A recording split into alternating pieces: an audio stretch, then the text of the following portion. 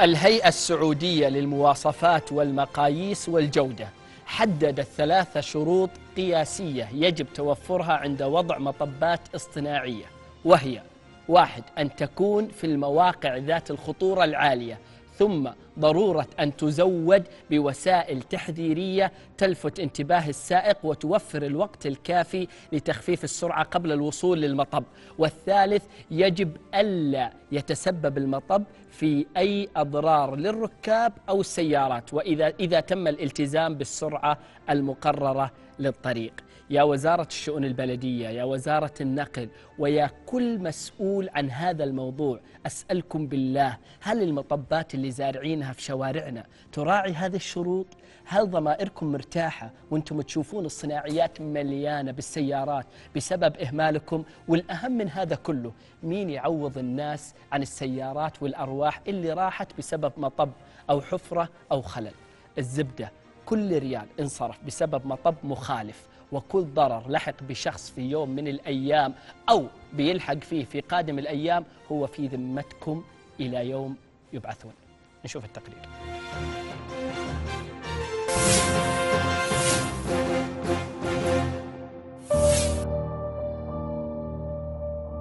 تظل المطبات برمتها سواء المطبات الاصطناعية أو الطبيعية والتي لا يخلو منها شارع هي تعتبر مصدر للقلق للكثير من السيارات التي أضحت غير قادرة على تحمل الكدمات جراء احتكاكها.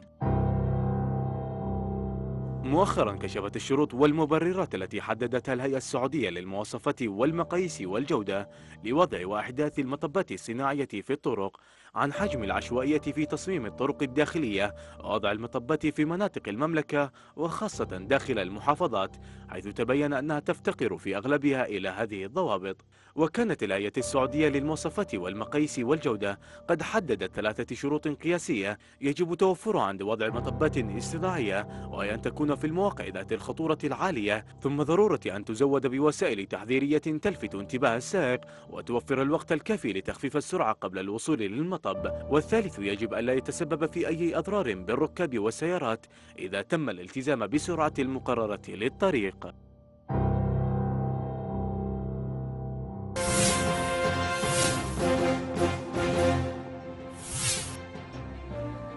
للحديث أكثر عن هذا الموضوع المهم ينضم إلي في الاستوديو المتحدث الرسمي للهيئة السعودية للمواصفات والمقاييس والجودة الأستاذ طامس الحمادي. أستاذ طامس حياك الله في أهلا.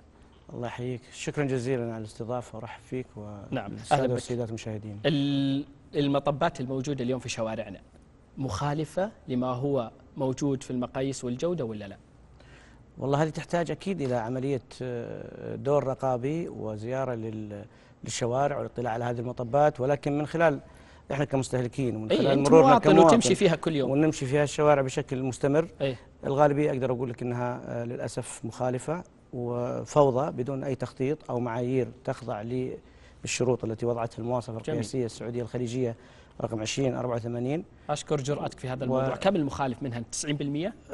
90% صعب النسبة ولكنه في نسبة كبيرة مخالفة من بالتأكيد. خلال آه، ما تمشي في الشارع. أتوقع أنه تزيد عن 60% تزيد عن 60% أكثر من أتوقع. النصف. طبعا هذه ليست زي ما قلت لك إحصائية دقيقة أنا فاهم. هي تقريبية. شخصية ولكن آه، من المشاهد في الطرق وأماكن هذه المطبات المخالفة ليست حتى في شكل المطب أيضا في مكان وضعه. ممتاز. طيب خلينا نحط المشاهدين والمشاهدات في الصورة وتعطينا المقاييس والمعايير اللي لازم يلتزم فيها في المطبات. آه، في مواصفة قياسية سعودية آه، خليجية آه، أصدرتها طبعا اللجنة الفنية الخاصة بالتشييد ومواد البناء. وهذه المواصفة رقم 2084 وهي صادرة عام 2010 ليست أي. مواصفة جديدة. وأعلنت في الصحف وكل المواصفات التي تعتمد من مجلس إدارة الهيئة الهيئة كونها جهة وطنية للتقييس في المملكة كل المواصفات اللي تصدر عنها عادة تنشر في الصحف الرسمية وتعمم للكل وتزود بها الجهات ذات العلاقة. ممتاز. وش هي وبالتالي هذه المواصفة هي حددت طبعا يمكن مثل ما عرض التقرير حددت الشروط وحددت أيضا مبررات وضع المطبات وهي خمس مبررات رئيسية. أنه إذا كان هناك وجود حركة مشاة كثيفة أو في التقاطعات المرورية الخطرة أو في آه، آه، المنحنيات أو المرتفعات الأفقية والرأسية أو إذا كان منطقة عمل في بعض الطرق مثل ما تشوفون في يعني الآن الرياض أصبحت ورشة عمل في صحيح. كثير من الطرق المغلقة آه، ممكن يوضع بعض المطبات للتهدئة أو في الشوارع ال- ال- الغير نافذة نهاية الطريق كت يكون مثلا في مطب للتهدئة والتحذير طبعا السائقي إنه في مطب. فهذه مبررات آه، خمسة رئيسية آه، هي الأساس في وضع المطبات الصناعية أو الاصطناعية. والشروط اللي ذكرتوها أيضا. وحددت طبعا أشكال وتصاميم هندسية في المواصفة لهذه المطبات. آه، المواصفة على فكرة إيه. هي مبنية في الأساس هي ليست مخلوقة من فراغ. إحنا آه، دائما آه، نستعين بالمواصفات الدولية. آه، نطلع على كل المعايير والممارسات الدولية الموجودة في هذه الجزئية. طيب بس علشان نكون في الصورة كاملة الآن المواصفات هذه أعلنت في 2010 نعم.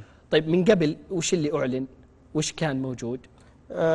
كان يمكن بعض خلينا نقول الأدلة البسيطة أو الإرشادات وال نسميها إحنا أو الخصائص اللي ممكن تكون موجودة لكنها ليست بالشكل.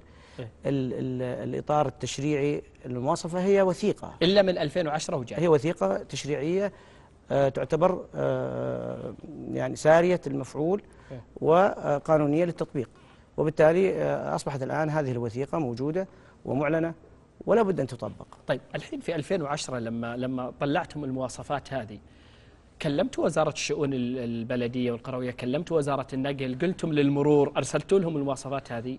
آه، المواصفات أنا يمكن آه، كنت حقول لك الفكرة هذه أو. الجزئية هذه يعني قبل سؤالك إنه إحنا طلعنا وبنينا مواصفات على معايير وممارسات دوليه وعلى دليل إرشادي أساسا هي استندت على دليل إرشادي صادر من وزارة الشؤون البلديه والقروية إيه. وبالتالي إحنا في تصورنا طالما إن الدليل موجود لدى الوزارة هي بالتأكيد هي من وضعت الدليل وهو يتفق مع المواصفة على فكرة أي. اذا يفترض إنه يكون مطبق والدليل موجود من قبل 2010 أها. وهناك أدلة أخرى صدرت من بعض الأمانات أمانات المناطق أدلة خاصة بتجهيزات الطرق والشوارع.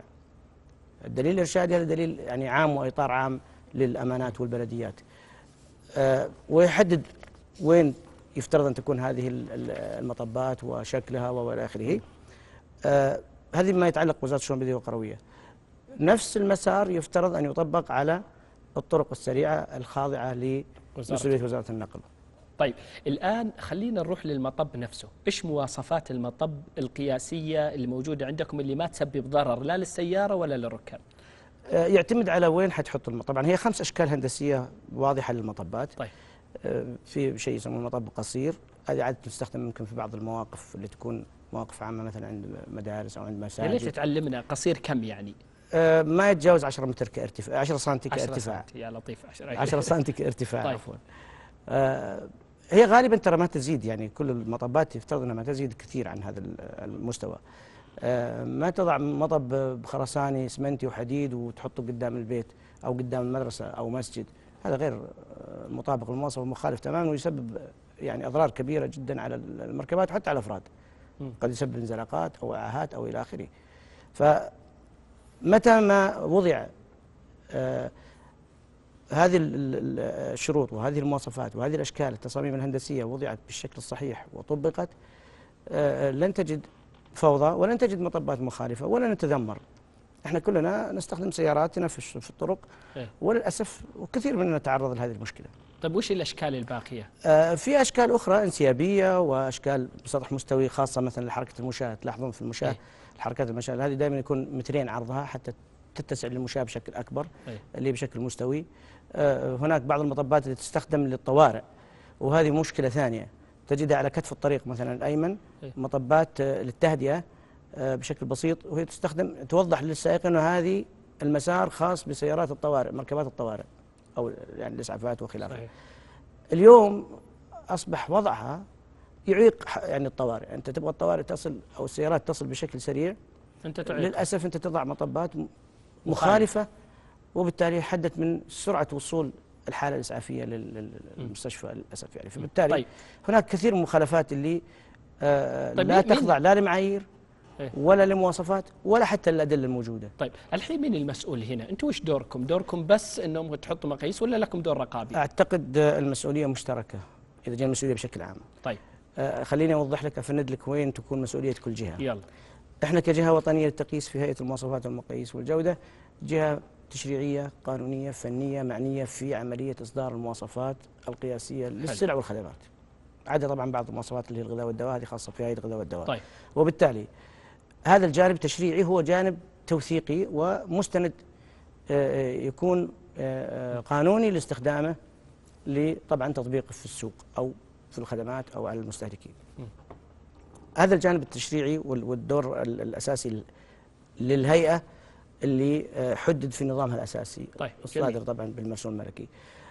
آه، لها دور رقابي ما أخفيك يفترض إنه يكون لها دور رقابي أيضا تشارك فيه ولكن عند الطلب من الجهات المعنية لو وزارة الشؤون البلديه والقريه مثلا ولا وزارة النقل الآن طلبت من الهيئة آه، المشاركة لأنه المطبات الموجودة الاصطناعية أنت لا يمكن إنك تنقل المطب وتعمل له اختبارات زي بعض السلع إيه. لدى الهيئة مختبرات متكاملة تستطيع أن تجري اختبارات وتتحقق من مطابقة هذا المنتج أو هذه الخدمة. طبعا الخدمة لا صعبة تنقلها لكن طيب. المنتج لل- للمواصفة. المطب إحنا ممكن نشارك فيه بالدور الرقابي إنه آه، نشارك في الزيارات الميدانية مع الفنيين المختصين من الوزارات المعنية. أو النقل أو حتى المرور طيب. ونستطيع أن نحدد في الحالة هذه الرأي الفني والمنشورة الفنية لمدى ملائمة أو مطابقة هذا المطب للمواصفه القياسية. يعني الآن ما أنتم المسؤول الأول؟ المسؤول لا. الأول الجهة اللي وضعت المطب. بالتأكيد. ال- الجهة اللي وضعت المطب مش اللي وضعت التاحير ممكن أفراد يضعون المطبات. لكن من المسؤول عن هذه تعتبر مخالفة أي. من الأفراد. مين لكن من المسؤول؟ هي الجهة المسؤولة واللي يجب أن تراقب هذا الشيء؟ هي البلديات داخل الأحياء السكنية وداخل المدن جميل. تخطيط آه، حضري. أي. ووزارة النقل فيما يتعلق بالطرق السريعة. والمرور أيضا أنا يمكن ما جيت لك في الجزئية هذه المرور يشترك أيضا في مسؤولية ضبط السرعات داخل آه، الأحياء والشوارع الفرعية لأنه أحيانا تجد آه، سرعات غير محددة. وبالتالي إذا وجد سرعة معينة آه، يفترض أنه هذه المط- المطبات ما توضع في الطرق اللي تزيد السرعة عن 60 كيلومتر في الساعة. أي طريق أي تزيد عن طريق. 60 ابدا.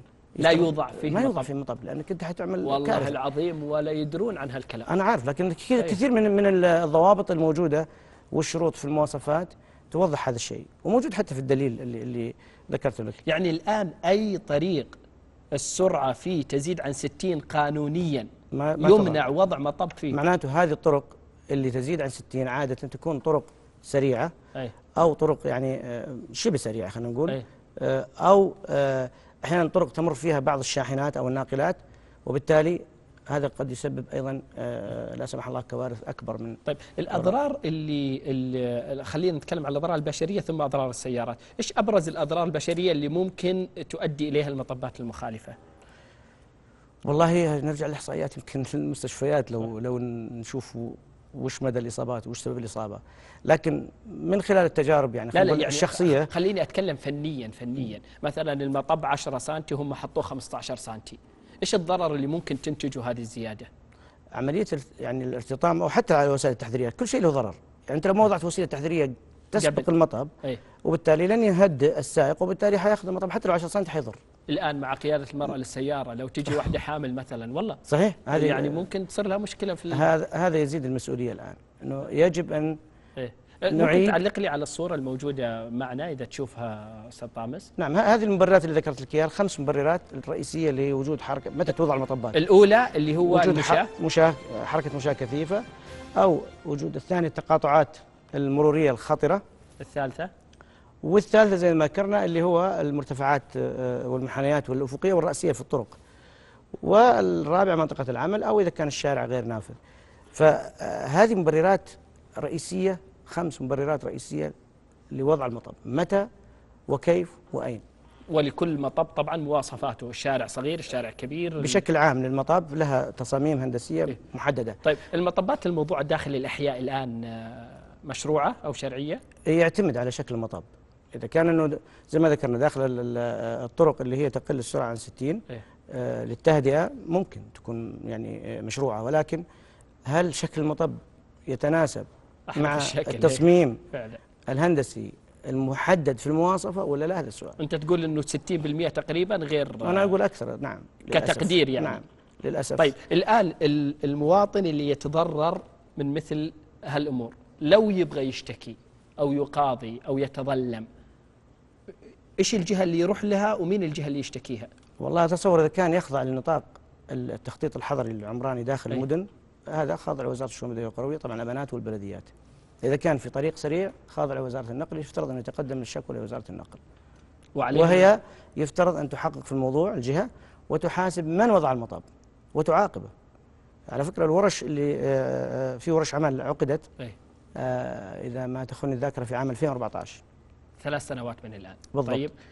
كانت هذه الورش تتكلم عن آه، كيف تطبيق المواصفات والمعايير الخاصة بالمطبات الاصطناعية.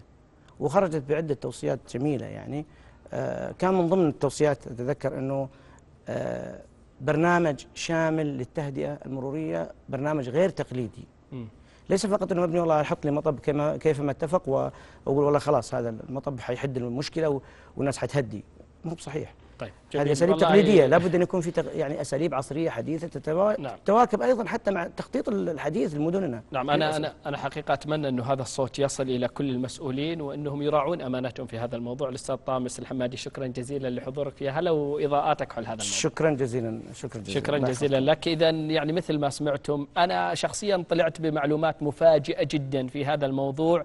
والجهات المتهمة في هذا الأمر كثيرة ولكن على كل هذه الجهات أن تتقي الله في هذا المواطن. وعلى هذا المواطن ألا يسكت إذا تضرر من مطب أو حفرة أو خلل لدى جهة معينة وأنه يتقدم بشكوى رسمية في هذا الاتجاه. فاصل ومكملين معكم في أهل.